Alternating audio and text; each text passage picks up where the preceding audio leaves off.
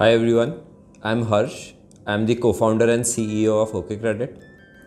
Traditionally in India, businesses extend credit to their customers, and the way they keep record of it is in a notebook, which is traditionally called an Udhar Bahi Khata.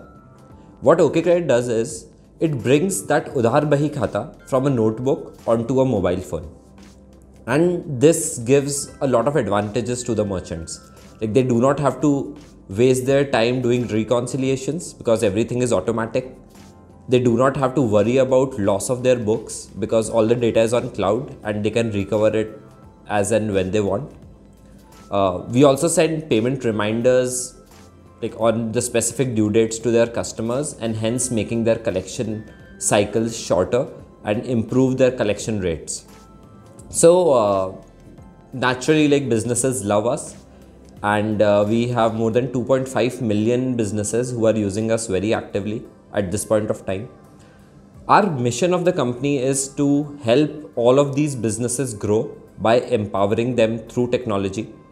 We have just right now solved just one workflow for these businesses. And going ahead we plan to solve for the entire workflow of their business and digitize them and grow their business along with us uh, and i would like to thank graham bell awards uh, for nominating ok credit uh, for this category.